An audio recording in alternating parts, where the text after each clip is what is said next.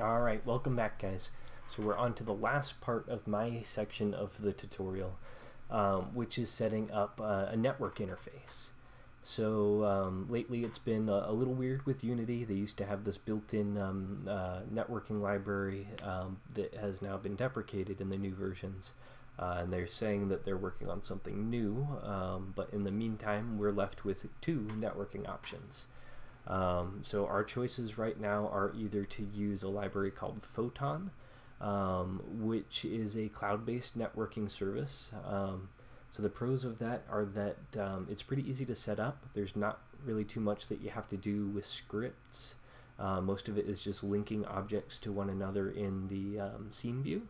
Um, so that's nice, but of course the drawback is that it is cloud-based, so it does come with kind of a higher latency. Um, so for a lot of VR, uh, VR or AR apps, um, it's not quite what you want.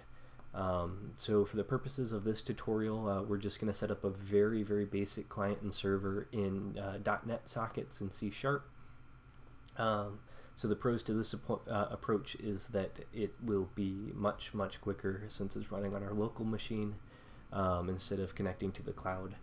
Uh, but the cons are that, of course, uh, no one likes network programming, um, so it will be a little tedious to program this part.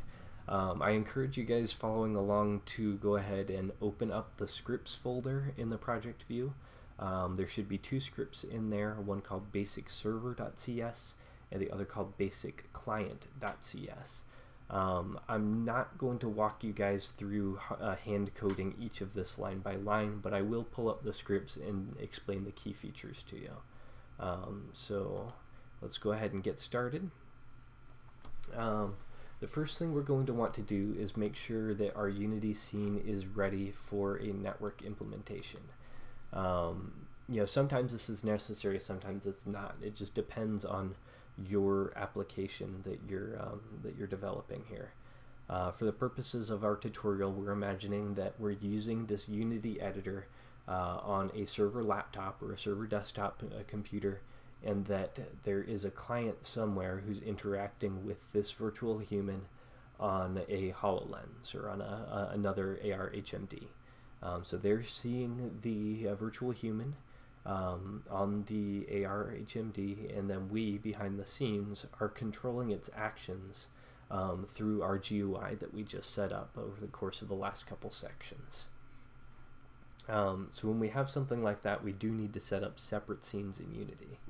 Um, so first thing we want to do is go ahead and add a new component. So click in the hierarchy, right click, and then select create empty. Um, go ahead and click the game object that it just made and we'll rename that to network manager. Basically this object is just going to be a container for our scripts. Um, so now go ahead and click into the project tab, open the scripts folder, and if you scroll down to the B section, you will see one that says basic client, another that says basic server. Um, so go ahead and drag those into place. Um, we are going to save two different scenes from this. Um, that way we have one scene for our client and one scene for our server. Um, so let's start out with our client side. Um, to do this, we'll go over to the right in the inspector window and we're going to uncheck that server icon. That way we have uh, just only the client code running in this scene. And we don't want both in the same scene. So then we go up here, we'll hit Save As, uh, go into our scripts folder, and we are going to save this as, um, I'm going to do mine as uh, tut client, tutorial client and we'll save. Um, so now the next thing to consider here is that since this is going to be running on our client, which uh, we are imagining is on a HoloLens, um, we are not going to want that GUI hanging out in our um, user's face. Um, so we want to click up here to the canvas and we want to go ahead and deactivate that. And then go ahead and hit save. Um, so easy enough. Uh, we'll go ahead and click the network manager again. Uh, and in that basic client section, you'll see that we have all of these blank sections. Um, all of these need to be linked to that Remy object. So just go ahead and grab Remy from the hierarchy, drag them back over here for all four. We gotta, gotta land them in the tiny slots, otherwise it doesn't count. Uh, so we get all four. Don't worry about the server IP address. We didn't actually end up using that variable. Um, so that should be it. Um, go ahead and hit save.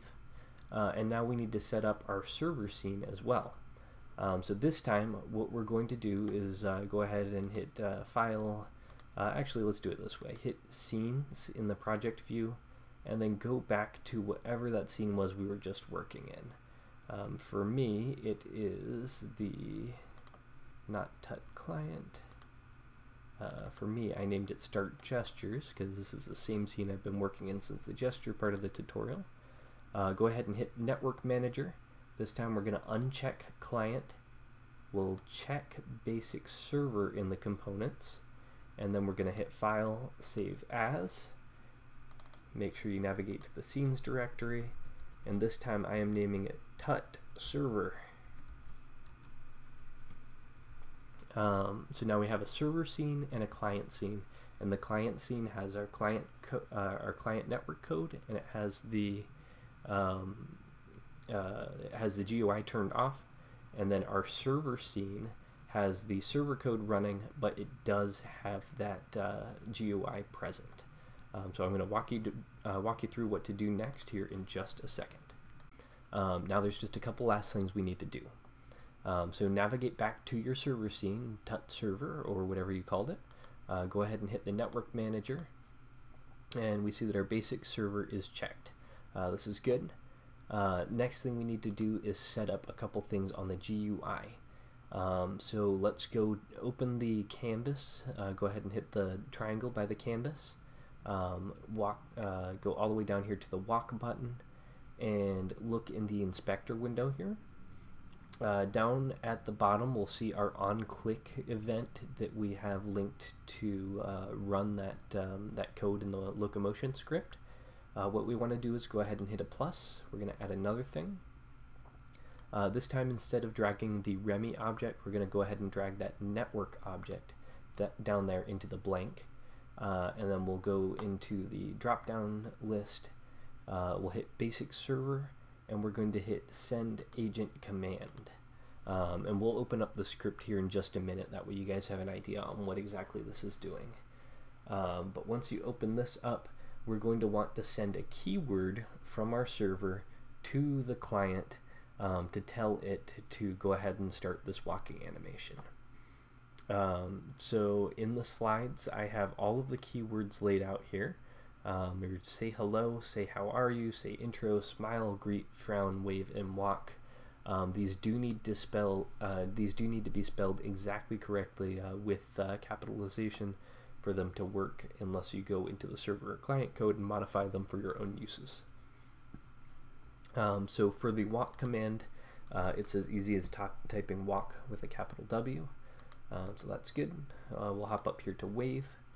Uh, we'll go ahead and do the same thing. We hit the plus, uh, we drag the network manager to the object, go to basic server, send agent command, and then the wave command is just wave with a capital W again.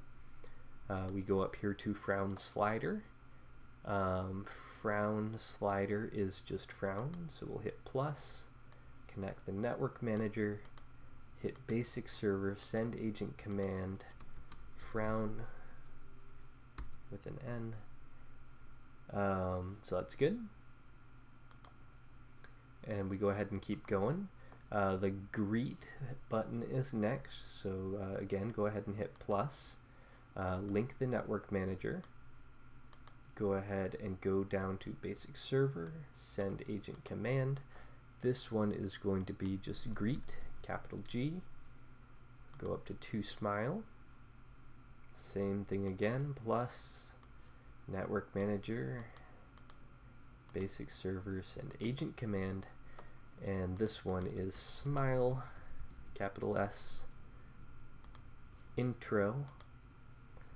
Again, link your network manager. We just go through every single one of these the same exact way. The only thing we're changing are these keywords. This one is say intro, capital S, capital I, no space. How are you? Same thing, link the network manager, basic server, send agent command. This one's going to be say how are you? Uh, capitals for each word, no spaces. Last one is say hello. So go ahead and link the network manager, hit the drop down box, uh, hit uh, send agent command, and this last one is say hello, capital S, capital H, no space. Uh, go ahead and hit save, uh, and that should be all set.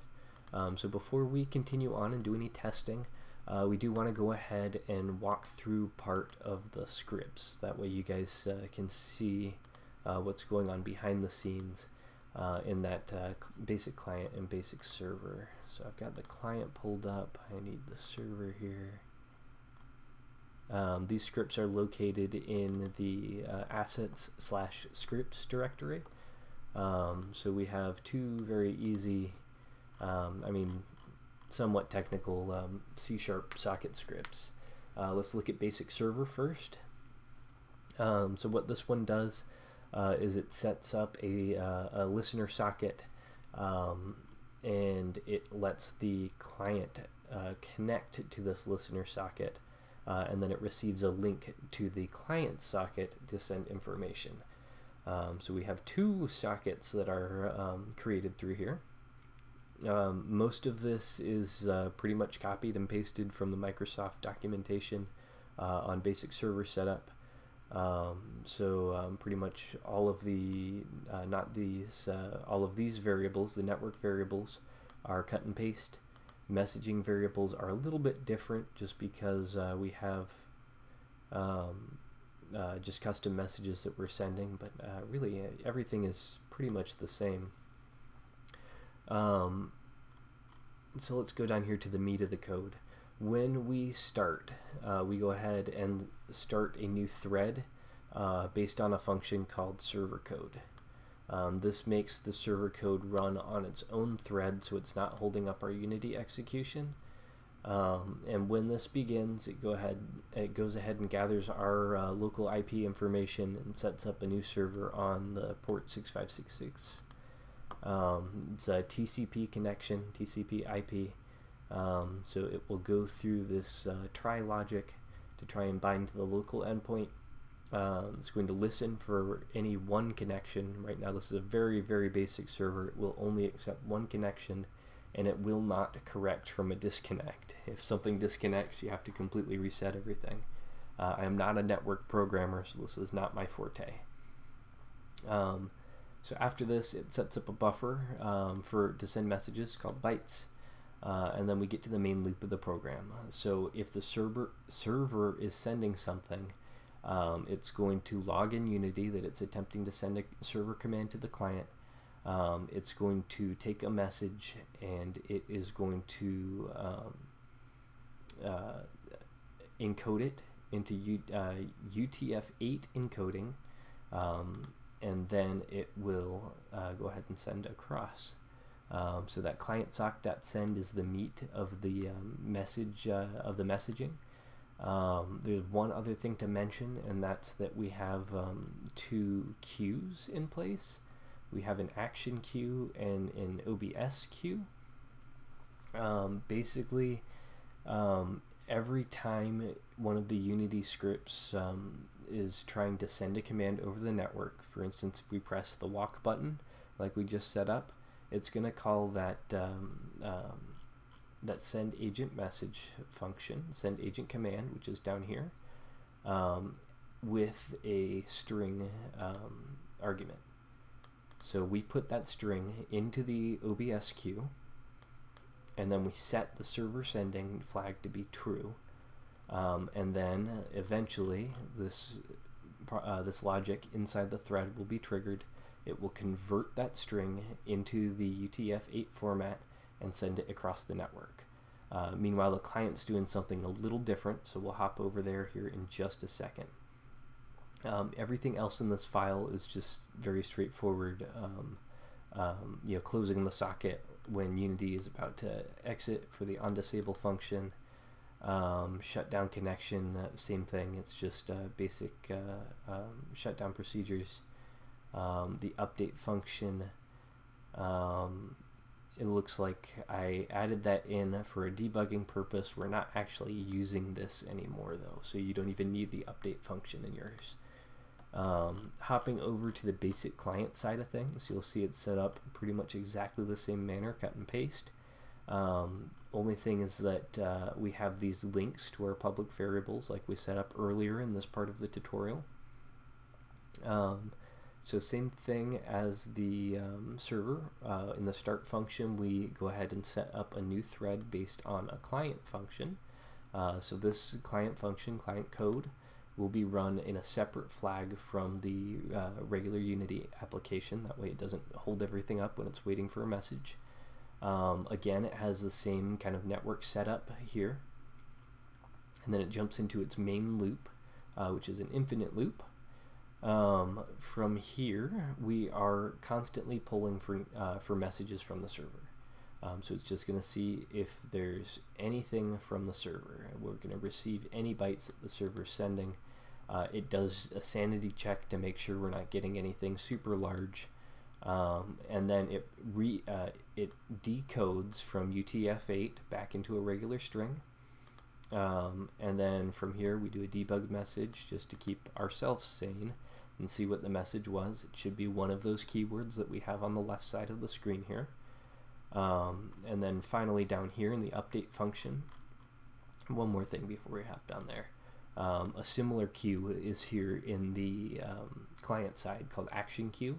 So we add that uh, command that we received from the server into this queue and then the update function later is going to examine this queue to see if there's any commands that need to be addressed. Um, it's going to um, parse it, figure out which command it is that we are uh, looking at, uh, and then it's got, going to call the appropriate script to trigger the logic that we already coded for that. Um, after it's done that, it go ahead it, it, goes ahead and pops that command from the queue. Um, so very straightforward. Um, although it is a little intimidating looking at the network code if you have never done dealt with that before. Um, so at this point, um, you have a pretty good idea on uh, everything that's going on behind the scenes in the network code. We've set everything up in Unity. Uh, there's just a couple last steps to actually get this to work. Um, so typically you can't open two Unity editor windows at the same time and have them network together. So that means we have to build one or the other of our scenes.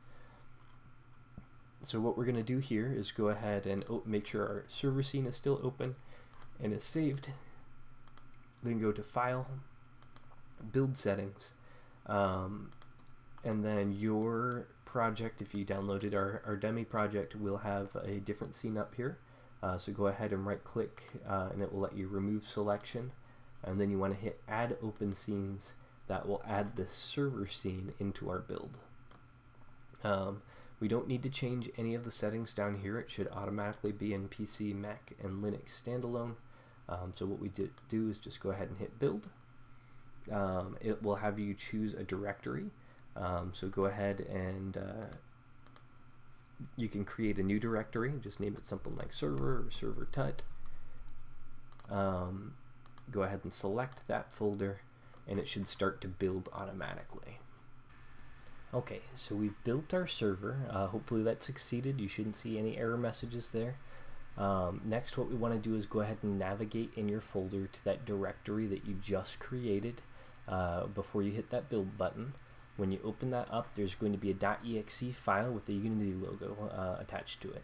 So go ahead and double click that and it's going to run our server and it should appear uh, somewhat like it does in the top left corner of my screen here. Um, so you should see our GUI and you should see our Remy character there. Um, now there's a one last thing we need to do to test this. Um, so what we want to do is uh, switch back to our um, client scene.